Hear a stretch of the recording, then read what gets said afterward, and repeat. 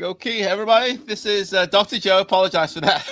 Uh, hope everyone's doing well on this Wednesday evening, and uh, you know wherever you are.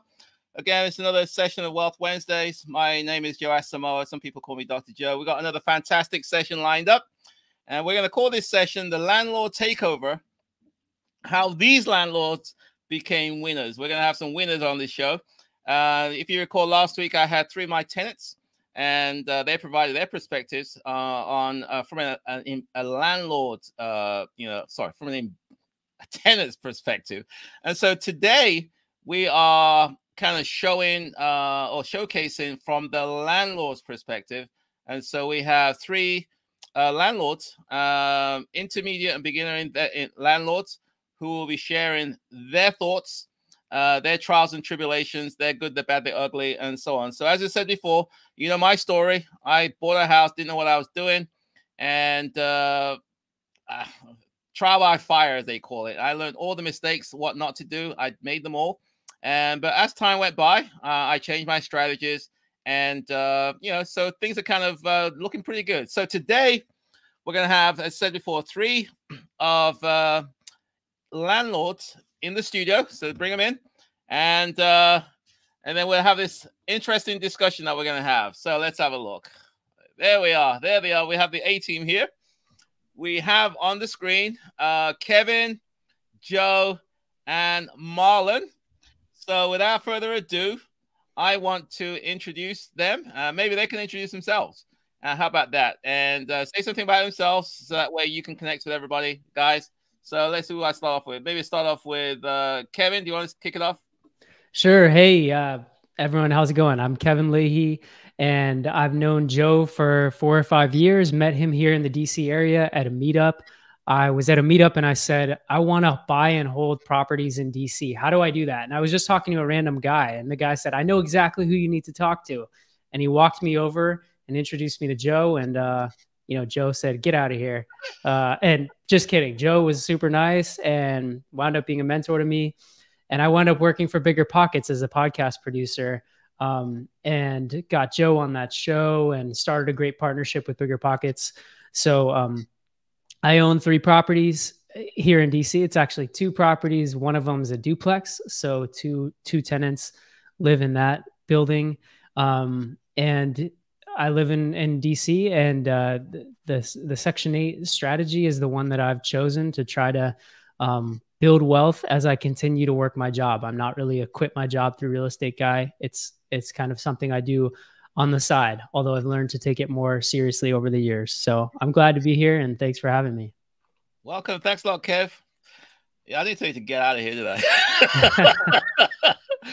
okay, Marlon, do you want to uh, say a few words about yourself? Who are you? Good evening. Hello, everyone. My name is Marlon Allers. I'm a first time investor. I own one property in Washington, D.C., but I live in Owings Mills, Maryland. Uh, I'm looking to scale uh, up and acquire more properties. And thanks for having me on the show uh, this evening. I greatly appreciate it. Welcome, Marlon. Joe, welcome. Yes, uh, Dr. Joe, thank you for having me here. Uh, so I'm Joe Simon, a local uh, investor in DC. And uh, you know, I bought my first property in 2017 and I uh, met Dr. Joe, who also told me, uh, get out of here. No, he didn't. he, I met him actually at a house he was showing in, in DC. And that was my first contact with him.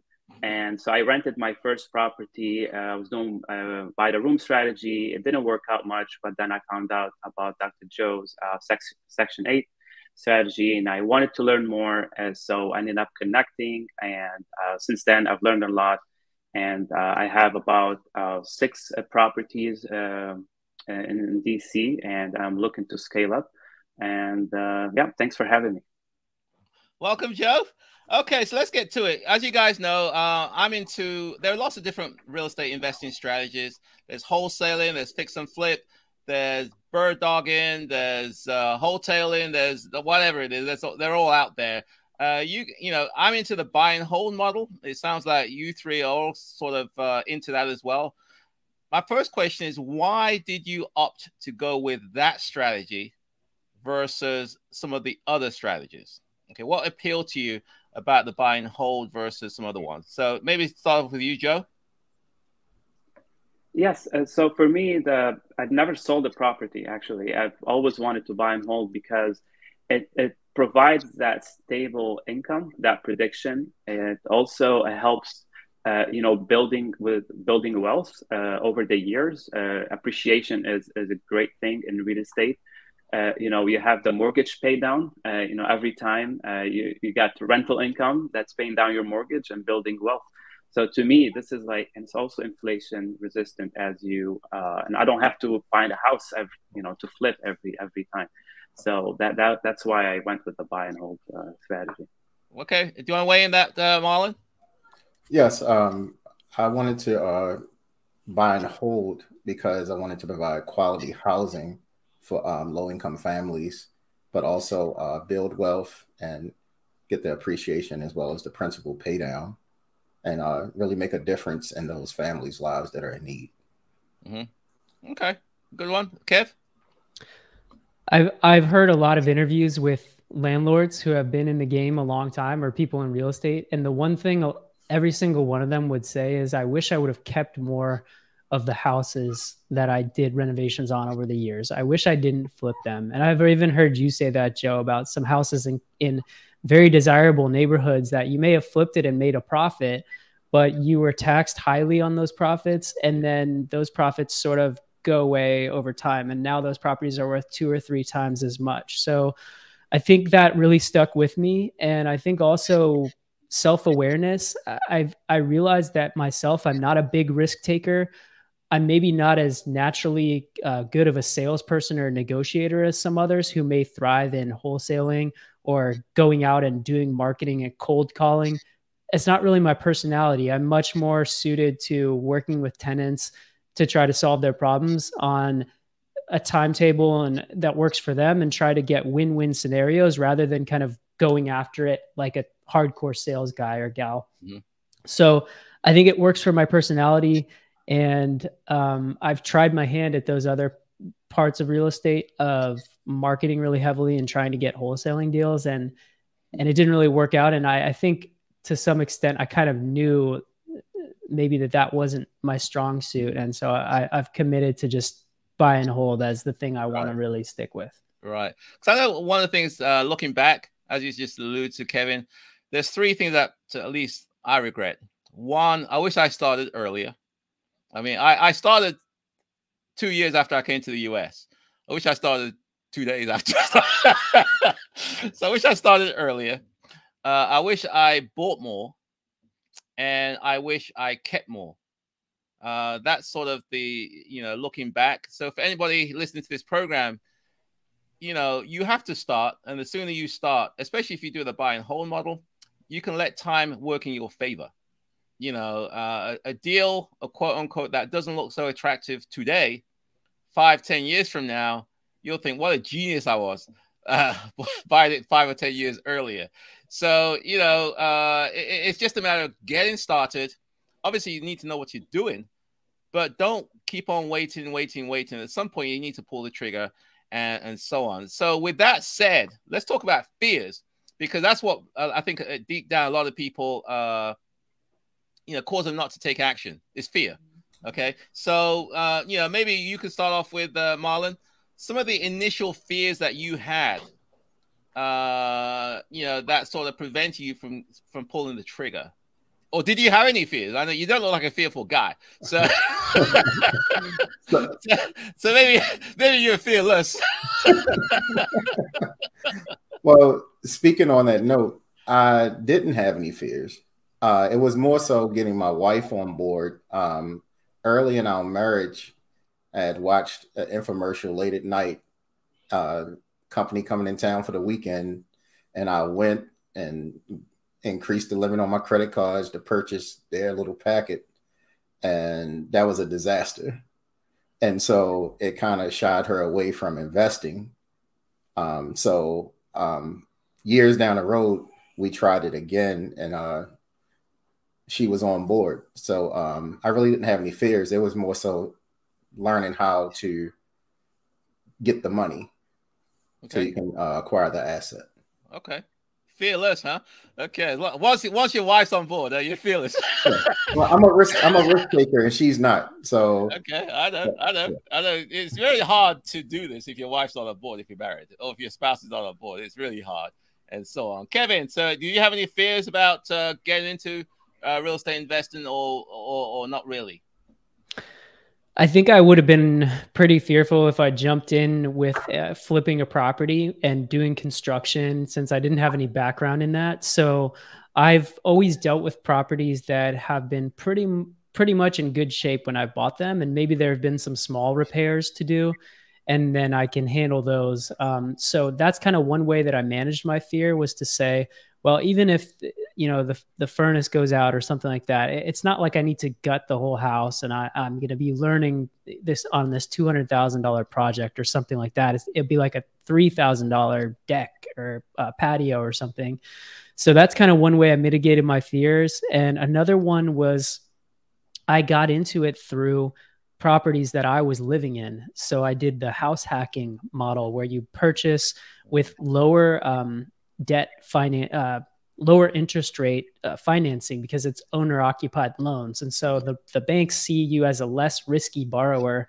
If you're buying a property you're actually going to live in, um, they're basing that off of you know with rentals that's where people get in trouble. Like back before the great recession where folks were buying a bunch of rentals and hoping that they would appreciate and then they just walked away from them when the value went down. But if it's your house you don't really want to lose your house and have to mm-hmm. move in with family or something so people mm-hmm. will do everything they can to keep their house. So you get better financing so there's less of that fear with like short-term loans. How am i going to pay this off um, you you know what your payment's going to be for the next 30 years you know inflation's going to go up hopefully you'll make more money in the future and you know your expenses will go up a little bit but not your main expense is your mortgage and that will stay the same so fixed rate financing yeah. primary residence yeah. if the rental part doesn't work out and i can't rent the upper unit well, okay, then I have I have to pay the whole note myself. But I, I always did it in a way where I knew I could do that yeah. if, if absolutely necessary. Yeah. So I really took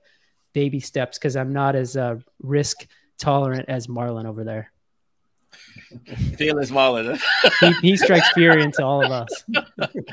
okay, what about you, Joe? I mean, uh, fears. Uh, you know, did you have any, and uh, how did you overcome some of those things? Well, well, first I started uh, fearless. You know, I went. Uh, you know, I bought a I bought a triplex, and I wanted to live in a top unit. It was already already renovated, so I was like, "Oh, that's easy." You know, I started getting fearful as I get in. Uh, you know, trying to uh, rent out the, the property. You know, to tenants, and I got even more fearful when I started renovating. Um, you know, doing full gut renovation to me that was like something that i never even thought of like you know all the stuff that it's involved. But i was able to come uh, you know uh, basically uh, you know what helped me with my fear is basically having the right mentor uh, dr joe. So you i mean your help was through the tenant screening uh, you know part of the construction. So having the right team kind of helped me through through this process. But um so yeah you know went from fearless fearful now I'm a bit less uh, fearful than before. Crazy, huh? But uh, learning, learning everything. Well, I think what's interesting here, uh, you know, it sounds like Kevin and Joe uh, start off using the sort of uh, uh, a modified version of the house hacking strategy. You know, you needed some place to live. Uh, the the biggest expense for most people is a housing expense. If they can cut that down, okay, then uh, you know it makes it a lot easier. Obviously, if it's your primary residence, you can get better financing, and uh, you know you can reduce your housing costs, and it kind of makes it a bit more easier, I suppose. And then you can then graduate from there. So maybe for people listening, you may want to explore the house hacking strategy if you want to, if you're kind of unsure about pulling the trigger, uh, because it's definitely a, a good way to go by it. And then you can then push it from there and so on and so forth. Okay. So, okay. So let's talk about your first experience, your first foray into this. Uh, you okay. So you, you got over your fears. You've decided to pull the trigger. Okay. And, and then the real world kicks in. So let's talk about your first deal or your first purchase or your first acquisition and some of the things that you learned the good, the bad, the ugly from that first because you know we'll we'll go down uh, as time goes by. You get more experience, but let's talk about the first one. and what you learned from that, if any. Kev? Yeah. Um, let me actually talk about the property that I purchased without even thinking it would be a rental, and then I turned it into a rental. Um, okay. And it was a one bedroom condo in in uh, Washington D.C. in a very nice area, and I it was my principal residence. But when I went out of town for a weekend in 2015, I had heard of this thing called Airbnb, and I thought, why don't I put my place up on Airbnb? And this will be a way I can see how it feels to be a landlord, but I'm not taking much of a risk because they need to be out of my house in two days when I come back. Um, so, right. Uh, and, and that was really a perfect uh, entree for me into, into landlording because you figure out, you know, how to market your property, how to put nice photos and write a nice description and put it out there, how to manage people's expectations around the rules that you expect uh, them to treat your your house. But then also, I learned, let's say the uh, not not necessarily the dark side, but some of the things you need to be careful of when you go in and buy a property. So with condominiums, you just have to be careful because they have their own set of rules. You're living with other people in a and there's a common area and people share expenses. So everyone chips in every month and then uh, common expenses are paid through a fund and there's a condo board that kind of rules the the roost at the condo building and so i didn't realize that airbnb was forbidden under the condo rules and i was actually on the board of the condo believe it or not and i was i look really young now but this was eight years ago and i looked like i was 18 years old and I was on the board of this condo, and then they, you know, they sent out an email saying there's an anonymous owner on the board who is Airbnbing their house out. We will not name this person, but what do you think the punishment for this person should be? And I was the first person to reply all to that email and said, let's just give them a warning. That's really messed up that they're doing that. But I think we can warn them. The rules weren't quite clear, but next time we'll really crack down. And I took my listing down and stopped doing Airbnb. But it was the first time that I realized you really have to know the rules of the game. And if you want to do rentals in a condo, for example, and a lot of people are tempted to do that because condos are kind of some of the cheaper properties in cities. Um, just know what you're getting into. And I think there's a lot with the city and inspections and things that if you just jump in without knowing those things or asking a mentor like Dr. Joe who has property in your jurisdiction, you could be in for a rude awakening. You know, if you're told all of a sudden, well, you can't do that. You can't rent that out. If I had run all my numbers based on Airbnb, yeah. well, that would have been a problem for me. Yeah, yeah, yeah. Okay. So, uh, so did you ever implement Airbnb, or you were scared off by that letter, and then you decided not to?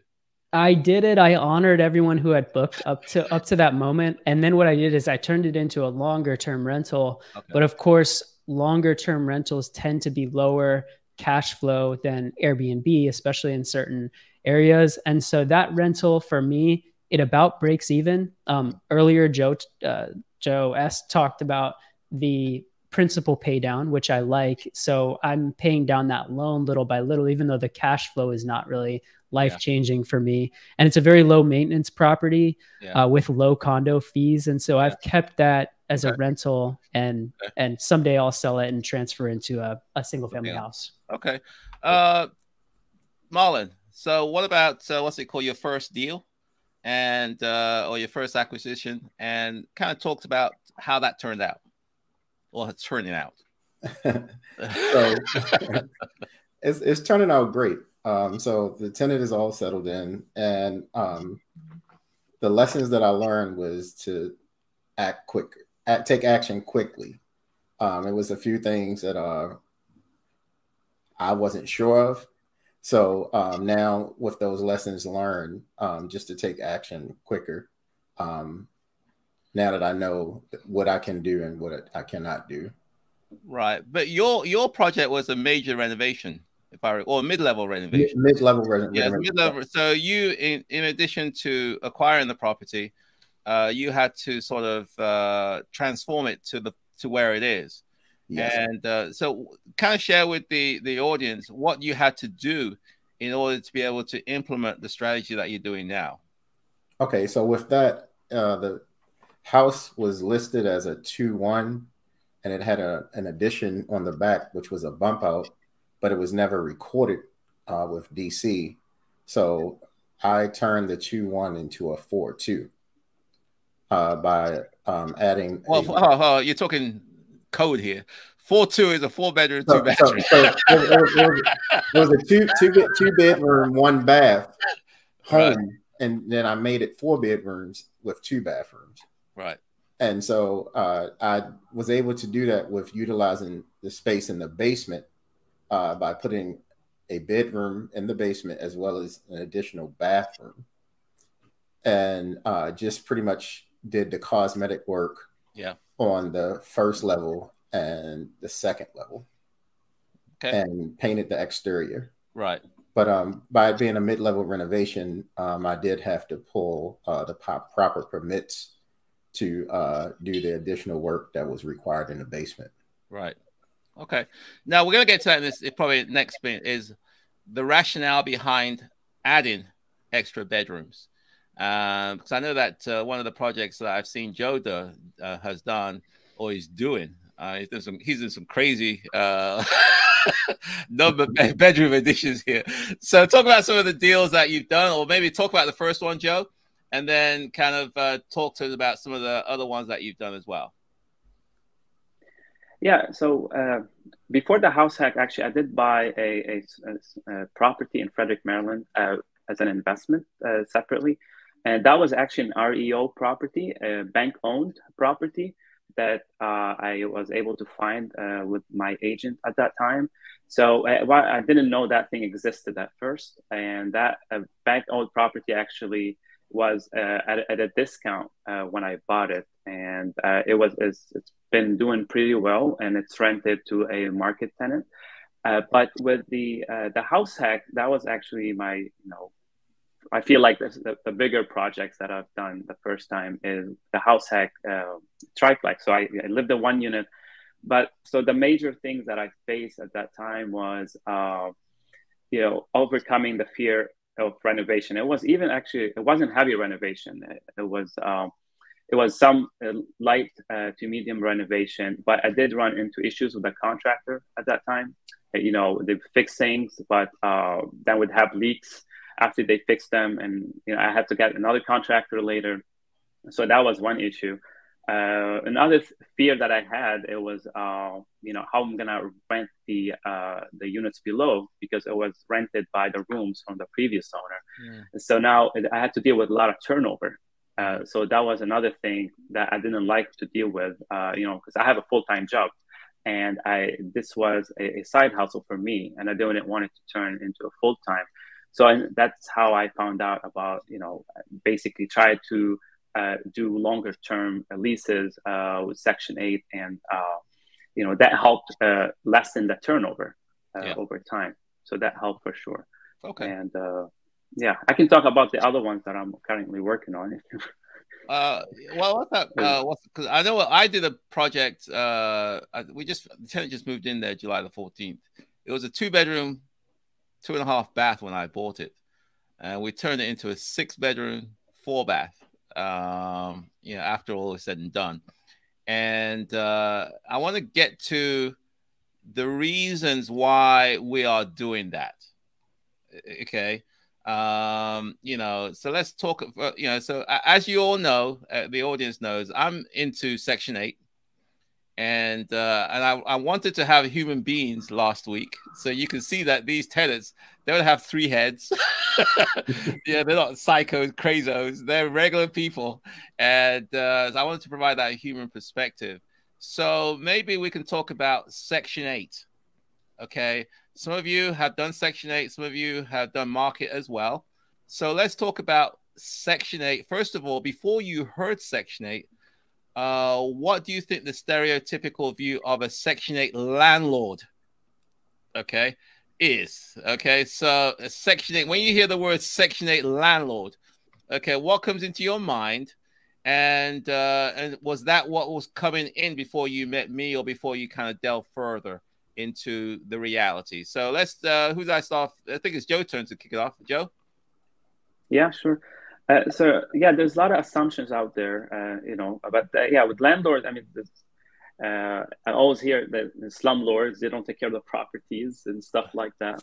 But uh, you know, that's that's what I kept hearing. But then when I you know uh, knew about you, Dr. Joe, I noticed how you actually treat the tenants. You know how you take care of the properties, and that kind of inspired me. You know, uh, so and the reason why I'm doing this actually, I kind of you know I didn't mention is that I was inspired from one of your uh, Instagram videos that you had one time, uh, where you, uh, you know, a family, you were, uh, they were moving in to the new house and they were cutting the, the ribbon. I was like, oh, wow, this is, and I saw the whole family members kind of like excited, you know, and uh, it was a very like, you know, emotional for the family. And that kind of actually inspired me and, uh, you know, made me think about why we do this and how we actually you know housing uh, children they're going to school you're uh, making their future better because they're living in a better neighborhood in a better house. So uh, that that definitely why i'm here. So in a nutshell. Okay. Okay, okay. that's good. Yeah so when uh, anybody want to add to kevin or marlon the, the, the whole stereotypical what brought into your mind about section 8 landlords before you met me and so on? What, what kind of came into your mind?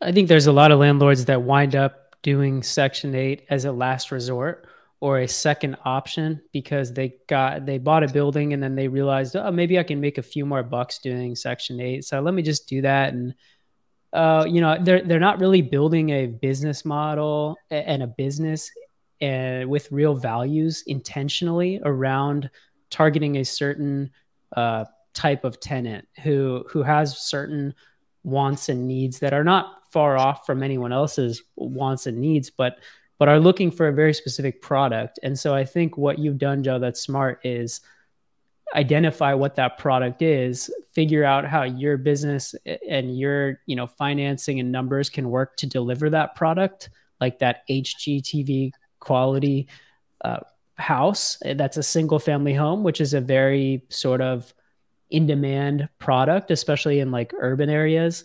And then interact with those tenants in a way that they're not used to. They're they're used to getting the short end of the stick from people um, who are involved, figures of a, a authority or folks connected to the government. Um, Section 8 tenants have to deal with a lot of that in their everyday life. And so when they have someone like Joe that says, I'm going to treat you like the human being that you are and just deal with you very straight up. And if you're straight up with me, this can be a great win win relationship.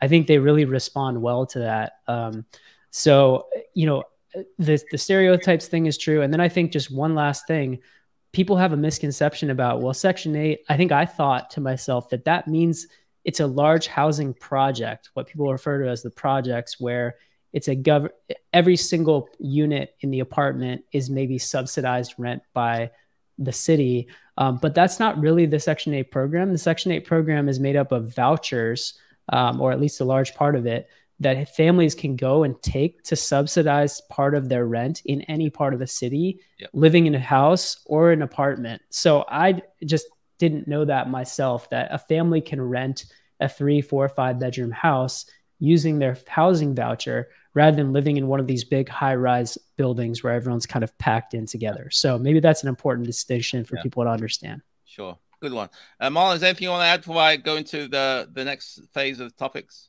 Sure. So uh, my understanding of Section 8 prior to meeting you was um, what I witnessed for years tenants uh, living pretty in unhealthy conditions and the landlord's just doing enough to get by because it was guaranteed income for them. But it was really no quality of living for the tenant. But um, after after meeting you and watching how you strategize to you know give them a quality place to stay, and then how you nurture the relationship, it changed my perspective of what I saw growing up. Yeah, good.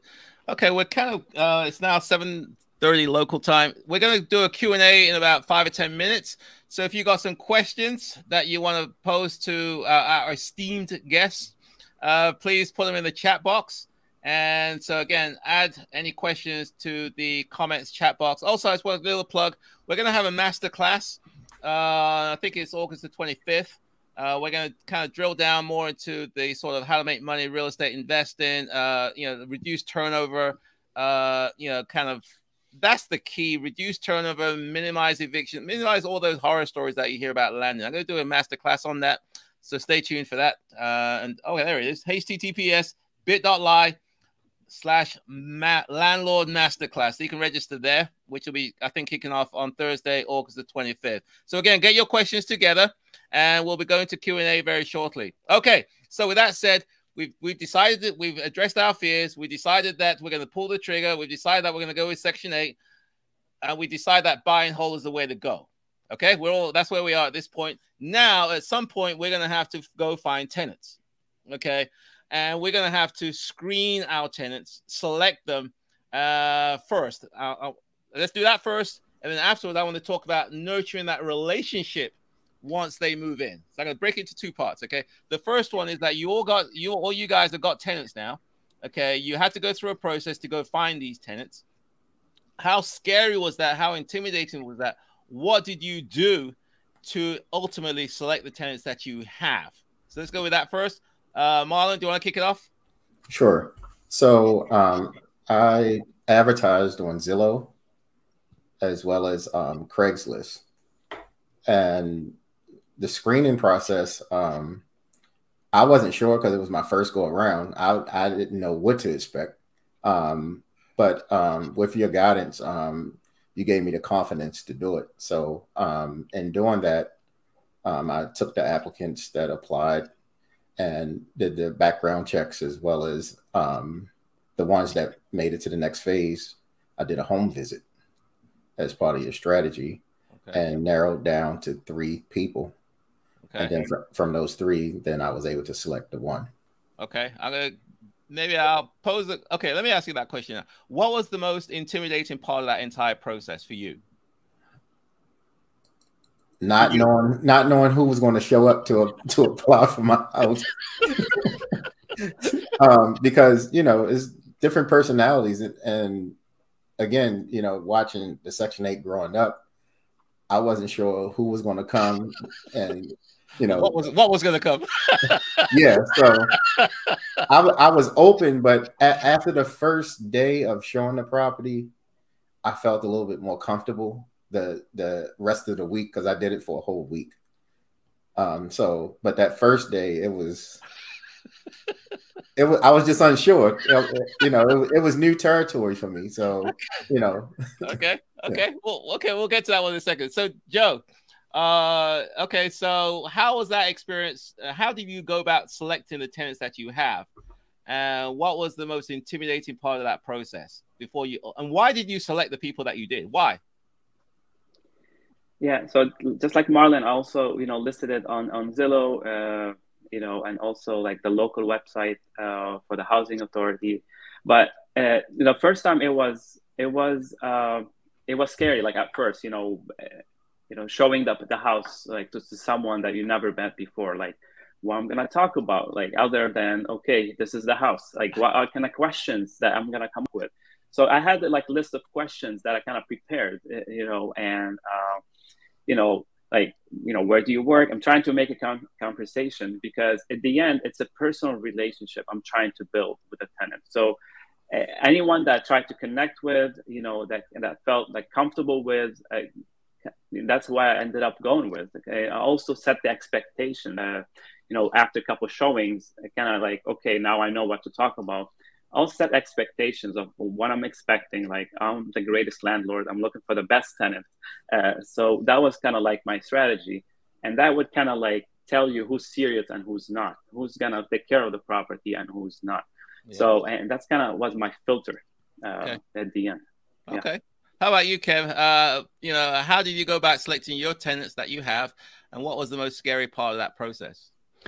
I advertise on Zillow as well uh, heavily, and Zillow shoots to a bunch of other sites, and a lot of leads come through Zillow, but I don't use their application. A lot of people just say, send me an application through Zillow and I don't use theirs. I want to control the questions that are on my application and just I want a little bit more control over the process. So I use a software called Airtable that's like a spreadsheet, eh, but it has a form that you can send people. So I generate my own link. And then when I speak with people in Zillow and it seems like it might be a good fit, um, what I do is I set up a, a link where people can book uh, an appointment with me through a software called Calendly.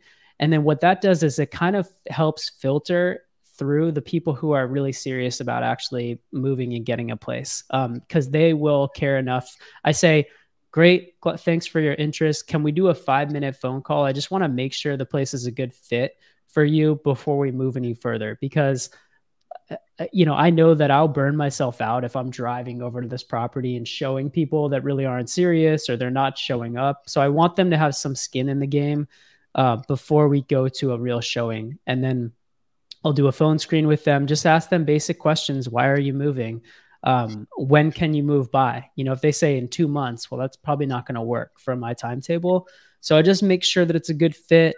And if it is, I'll say, great, I'm going to send you the application and then what I'll do is I'll try to schedule a day where I can show the property to a few different people around the same time. So I might identify a window of like two hours on a Saturday uh, morning or Sunday morning. And then I will try to get multiple people to come at once. And that way, it creates a little healthy sense of competition maybe among the tenants uh, if other people are there but also it just maximizes the time and if one person doesn't show up at least i'm getting something out of it um, and then you know I I don't try to hide anything negative about the property. So one of my apartment units has uh, no conventional closets that are built into the bedrooms. They are more like portable units that are in there.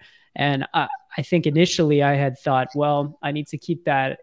I don't want to bring that out in the open right away. But now I say, listen, if this is a deal breaker for you, I totally understand. So I just want to let you know and be upfront about this. And if you have a ton of stuff, then right. it, might not be the best place. Um, right. So just trying to look at it more as finding the fit versus, yeah. Well, I'm screening the, screening out so and so. Okay. Now I know that uh, I'm a big. I think I remember the first time I went on BiggerPockets, and I I I told them my screening process, and I also said I also go visit, do a home visit. I, I remember Brandon was like, "Whoa." you do what? you know, and uh, I don't know if you guys have done home visits. I know it's very scary for a lot of people. Um, you know, when you do your first home visit, what was your thoughts? Uh, anybody want to, Joe? Do you want to? I, I felt I felt uncomfortable. Uh, I, I, you know, I thought that's what Marlon was going to say earlier. Marlon was just worried about who was going to show up. But I, the, to me, the most intimidating part of the process was asking the person if I could go uh, see their home. Um, and like Joe says, you know, the, the way their home looks now um, is the way that your home is going to look a month after they move into it. And, and, that's, there's a ton of truth in that. And so I do think it's one of those questions that if you put it to the, to a tenant who's not the right fit, they may react in a negative way. And that might be uncomfortable for a few seconds, but it tells you something that it's probably not the right fit. Yeah. Um, so I've done it once, and the one time I've done it has been the best tenant for me, who is a, a current um, tenant who lives where I used to live in an apartment where I used to live. Um, it's also nice to give some credibility when you can say, I used to live in this unit and now I'm renting it to you. It just shows them that you care. It's safe enough for you to live there. It's it's right. quality. Uh, right. Uh, but but it went really well, and it was clear to me that this person was a quality person who this was her first time uh, using the voucher and um, she has been nothing but a pleasure to deal with and so i think it's yeah. a really wise thing to do yeah. and it's all about positioning it in the right way yeah. and not coming off as condescending or like you are somehow trying to get them in trouble it's not about that it's about um, establishing a long-term relationship yeah how was your first visit uh, marlon when you went go were you scared? Uh, Wait, I'm sorry, you're feel you're fearless. I'm sorry. No, I, I was nervous. I was I was nervous um, because I didn't know if something was going to jump out. you know, I didn't know what I was walking into. But um, after walking in and going through uh, the whole place, it was clean. Uh, under the beds were clean, and the closet you know, it wasn't like somebody did a quick cleanup and just threw everything in the garbage bag and set it outside. Um, she kept a well clean place, so it was yeah. But initially, walk, walking up to it um, and finding parking, I had to park maybe like almost a block and a half away because um, it was only street parking around there. So, okay, it was a good experience overall. But initially okay. walking in, I didn't know what to expect. yeah. Uh, how how was your first experience, Joe, doing a, a, a home visit? Now, first, I want to ask Marlon, did you smell any strong bleach? Uh, no, no strong bleach. Uh, okay. Uh, Pine Sol. Okay.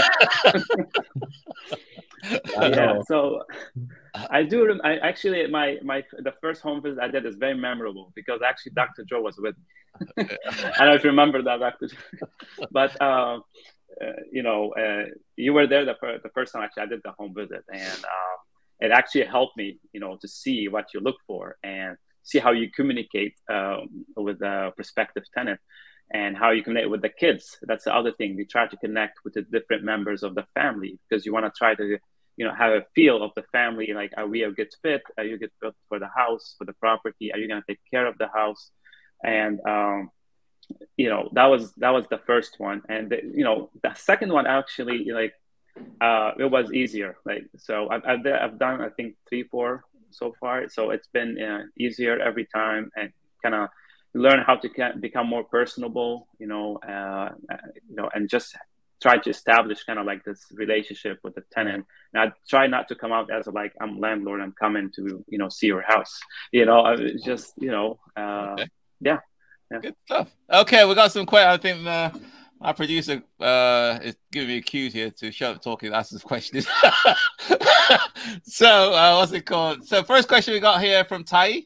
If I pronounce that uh, correctly, Tai, the question is: Is there any way to get larger rents for Section 8 rentals other than increasing the number of bedrooms? Sometimes Section 8 rents are below market rents. So she wants to know: Are there any other ways to increase the number of bed uh, to get your rent other than increasing the number of uh, bedrooms. Uh, anybody want to weigh in on that one? Well, I think the other major variable in the cost is the neighborhood itself. So, you know, time may already know that, but um, it, depending on the neighborhood, uh, the housing authority will pay different rents. Um, so, the other thing you can do is just try to look and find those sweet spot neighborhoods where you might be able to acquire a property for that number, that same uh, dollar figure, but the rents are higher per bedroom in that in that neighborhood. So that's kind of what Joe has done, uh, breaking down. You should know off the top of your head if you're sort of looking around and analyzing a lot of deals. Well, if that's in that neighborhood, I know I can get that much. So that's kind of what comes to mind for me. It might seem obvious. Yeah. Anything you want to add, uh, Joe? Uh, yeah. I think, I mean, the other uh, idea that I can think of is um, like the condition of the house or, or the, you know, the unit you're trying to rent and reaching out to the local housing authority.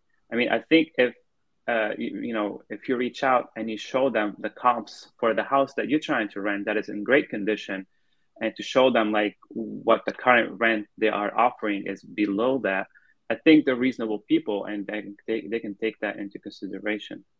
Mm-hmm. Marlon, you want to add anything?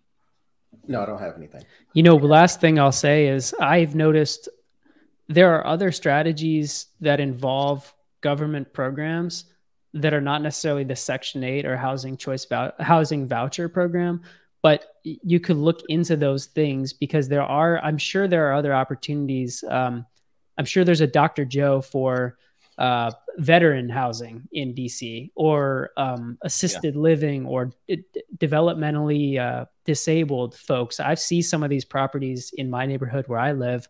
They're usually one story because people might have issues with mobility. And it's very clear to me that a real estate investor, a very smart investor, found a niche and they created, you know, they turned a single family house into more of an assisted living facility or something. So it might just be something to look into depending on, you know, finding that. Yeah, the other thing I want to add, uh, Toya, is that um, I know this is contrarian, uh, but uh, sometimes the reason why I like Section Eight is, especially some of the um, the rental assistance type programs, is that the tenants tend to stay longer. Okay, and uh, that's been my experience. You know, I mean, I had last year the 25 year tenant, 12 year tenant, and so forth if they if you have a product that's in a nice area and uh, it meets their needs, they tend to stay much longer than a market renter. So the point I'm trying to make is that the real expense as a landlord, I'm sure the, the guest here will attest to that, is the turnover cost. The turnover costs are so, so high relative to the rent that you get that sometimes if you can get somebody there that stays a long time at a slightly lower rent, you usually end up making more money than getting slightly higher rent but having more turnover. Okay. So, you know, it's not always about how much can I maximize my rent or whatever it is. Sometimes you have to kind of take a long term view. If you can get someone that's going to stay a long time and you're in an area that appreciates in value, you'll end up making more money through appreciation and minimizing turnover than you will by getting an extra $50, $100 a month in rent. That is my experience. A lot of people don't want to hear that. Uh, but I think experienced landlords uh, I think a, a, lot of them are sympathetic to what I'm saying. And Joe, I can I can attest to that. Having recently gone through a turnover on a property that looks really good on paper, and it's still a great property, but the the monthly spreadsheet magic shows that this is an incredible property. But then when I'm looking now, I have my income and expense statement up for the month of July. I have snake the drain in the bathroom, five hundred dollars. Handyman work uh, haul away trash 150 handyman work number two 300 replace toilet 700 now this was not a bad tenant. It just there's wear and tear and you have to do things when you turn over a, uh, a unit. And then i had to get the place cleaned. Then i needed one more contractor to do one more thing. Then i had to get the place cleaned again. So all this added up to maybe $3000 worth of work.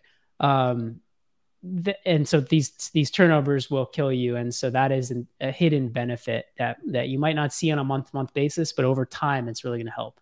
Yeah. So it's a bear that in mind ty is that uh you know my thing is i don't want turnover because as kevin was each turnover is going to cost you at least minimum one month's rent and probably two to three months. So if you can cut that down you'll end up saving a lot of money even though your rent may be slightly lower Okay, I think she's got another question. How do you all plan to scale up your portfolios? And do you plan to continue investing in Washington, D.C. area? Joe, do you want to kick it off? Uh, yes. So basically, I mean, it's, it's all about, you know, finding, uh, partnering. So I have partners. Uh, that's how I'm able to scale up. And uh, also raising uh, private money. Uh, that's another thing. you know, in order to have the necessary funds to uh, you know buy and renovate the property. Uh, and then yes, I like DC. I'm comfortable here. Uh, so far, the cash flow and appreciation I can get here. So uh, you know, for me, DC now is a is a good market for what I'm doing, uh, and I'm planning on keeping doing that. Uh, Marlon, do you want to add in uh, what's it called? How do you plan to scale your portfolio? And are you um, going to continue locally, or are you going to kind of branch out? Um, I'm planning to uh, continue to invest in Washington D.C., but also uh, parts of Maryland, and that's how I'm planning to scale my portfolio. Um, I'm gonna diversify um, some things here in Maryland uh, on the Airbnb side of things. Okay, uh, Kevin, anything you want to add about way, way, which direction you're going?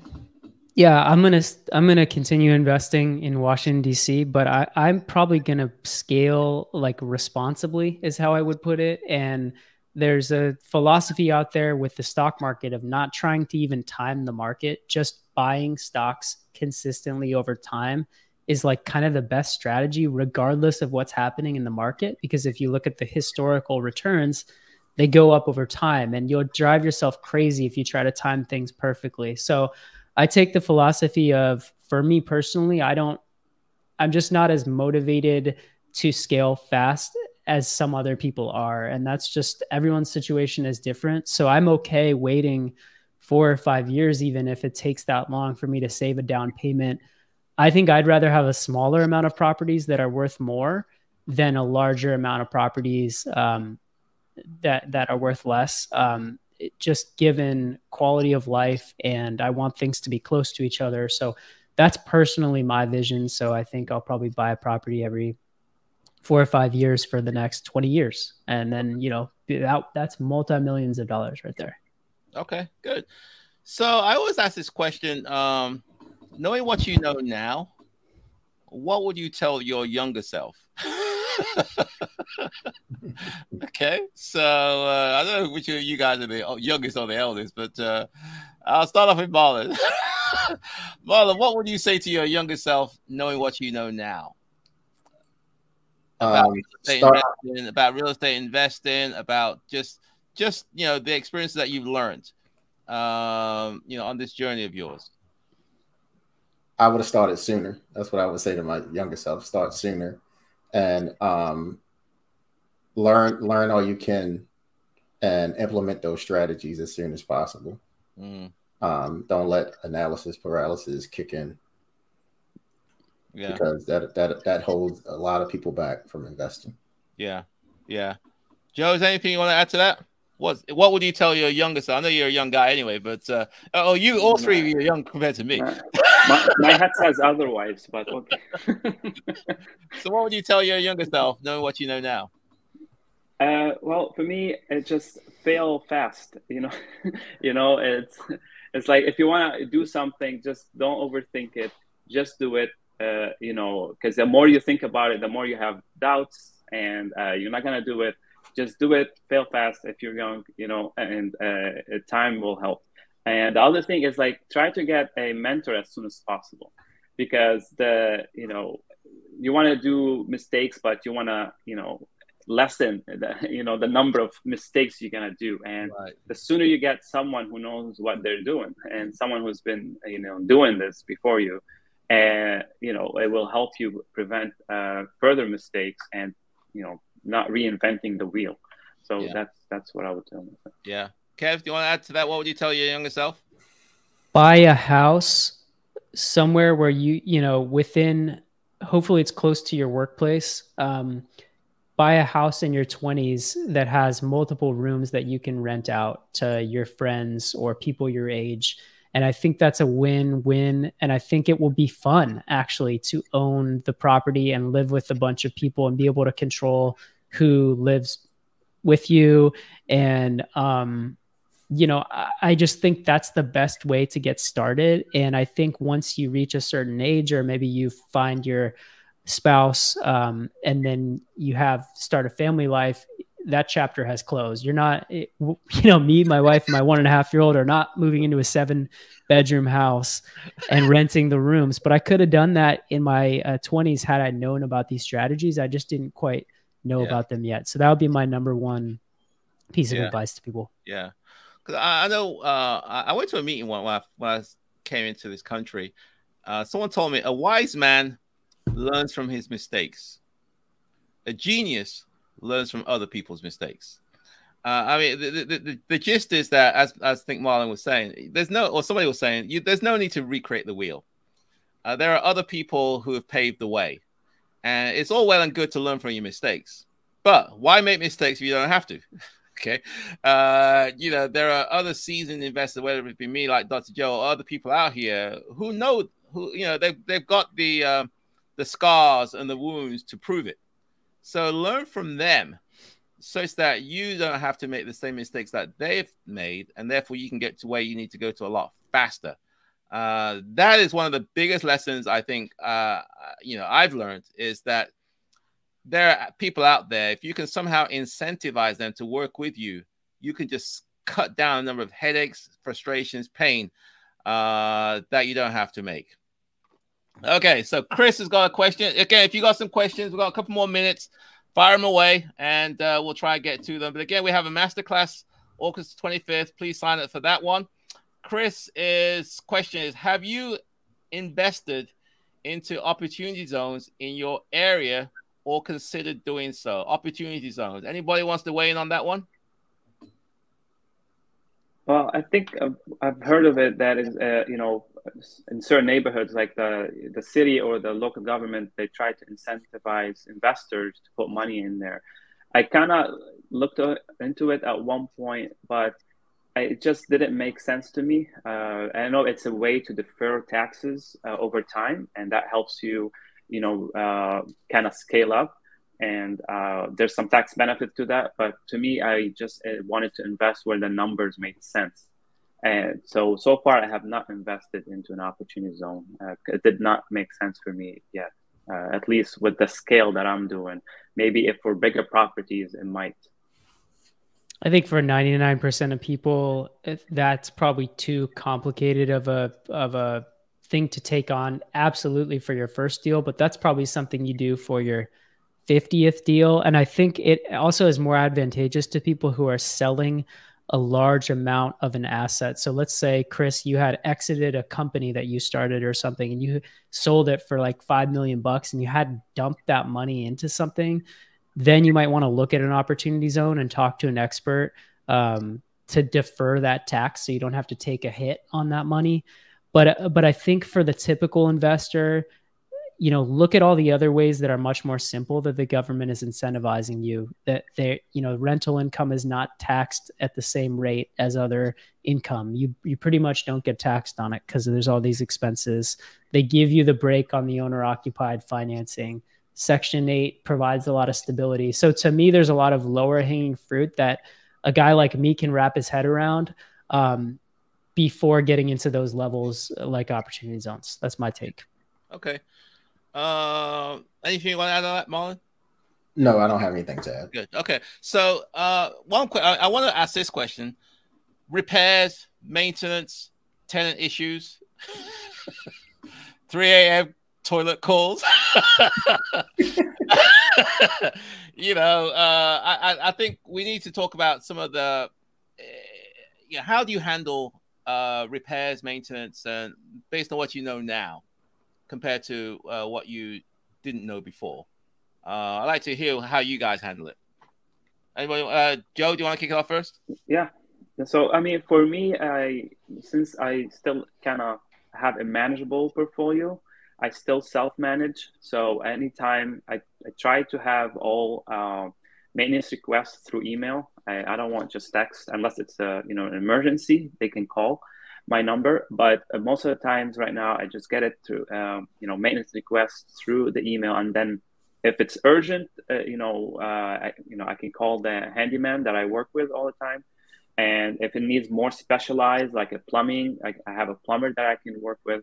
Uh, so it's all about having the right team, and uh, and I have you know depends on the issue. I have someone for that, so that's how I manage it. But I'm sure as I scale up, I will have Okay. Maybe someone else handle these calls. Okay. Kevin, you want to add?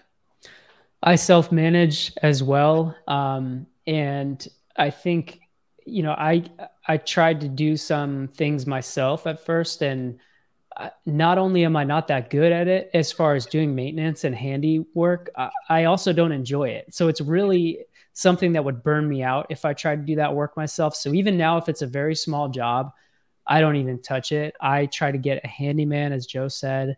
Um, and you just have to try different people out, see if they're reliable, and network with other investors. Like if you have a mentor like Joe, you can ask them if they know certain handymen or tradesmen. Um, and then one thing I would say is have a lockbox on your property so that you don't have to go over and let the person in, the contractor. As long as you trust them, you should be able to have that lockbox with a key. They let themselves in and you can always change the code if you want to later. But um, that has saved me a ton of time is having them go and let themselves in and do the work as long as the tenant is up to date on everything that's happening. Yeah. Final question uh, i know for me the most enjoyable part of what i absolutely the most enjoyable part of what i do hands down is when i tell the tenant you got the house and you see the expression on their face or faces uh, the joy, the satisfaction, the happiness, and, and so on. That's just me. I don't know what what's what's the most satisfying part of what you're doing. Uh, maybe that's my closing question. Uh, Marlon, I think you want to kick you off first. What's the most satisfying part of what you're doing so far? Um, it was the reaction uh, when I told uh, them they got the house. So um, I, I said, "Do you want to hear the good news or the bad news first? and uh, she said the bad news. So um, then I did the big reveal, and um, she said, "That's not bad news." and so she was just like overjoyed, smiling. Um, she was very, very, very happy. Um, she said she finally has a place that um, she can raise her family and they feel safe. Yeah. Okay, so that, Kev. That, that makes oh, my heart glad. Okay, Kevin. Yeah, I think real estate. You know, it's it's great. I, I, I'm not going to be the bad. I'm not going to be the bad guy here and say that the best part is going on Zillow and seeing that my house has gone up by fifty thousand. That's not bad. Um, but but honestly, I do think that the people you get connected with, the tenants, and then also people like Joe, like more experienced investors, even some of the the folks that you know you run into who are doing work on your house. It's a people business and it's fun to develop those relationships. And once you get around the right people now people can be difficult and you have to grow as a leader and and as a business person to manage them. But if you're doing business with people and it's a true win-win where the tenant enjoys where they're living um, you're you know getting a benefit financially from them but you're also growing as a as a person and and you're becoming better and better version of yourself over time that to me is the most uh, rewarding part Okay, Joe. Yes, and so for me, yeah, other than the the tenant reaction, the family at first when I tell them you got the house, I mean, one lady she was jumping, like she was so excited because she couldn't wait to get out of the house she was living in. Uh, to me, it was the how funny it was the kids how they would go and start picking their rooms. Oh, this is my room. This is my room. So to me, I was like, oh wow, like I'm providing this bedroom to this uh, little girl or boy like this is their own space right now and they're gonna grow in this uh, so to me that was like an eye-opening moment you know that actually i'm providing something good and helping so that's exactly. very uh, rewarding yeah yeah. So to the contrary, I don't see these people as doors. I see them as kids who occupy bedrooms. I see these folks as families are going to live in my house, and, and, so it's just the the human side of this thing. It's so you know, I mean, you got to have that in you, but it, it, it just brings so much joy to me. Know that I'm making a difference in people's life. Yes, I'm making money. I'm checking Zillow. I'm not gonna. I'm not gonna deny. I'm not gonna deny. I'm not doing that. but I'm also providing quality homes to these families and making a difference in their lives. And to me, that brings it all together and so on. So we are now pretty much done. Uh, again, on August the 25th, we do have a masterclass. Uh, so please sign up for that one. It's going to be great. We're going to talk about a lot of different things of how you can really leverage the power of uh, real estate to, to, to, you know, to build wealth and also reduce evictions, turnover, and get great tenants. So again, sign up https bit.ly forward slash landlord masterclass. Again, uh, wait for the scroller to go on. Uh, August 25th, Thursday, 7, uh, I think it's 8 o'clock bit.ly forward slash landlord masterclass. Please sign up there. You're going to have a good time.